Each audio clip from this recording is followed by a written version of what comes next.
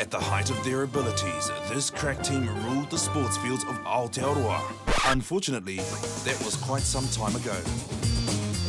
And now, they just make a TV show.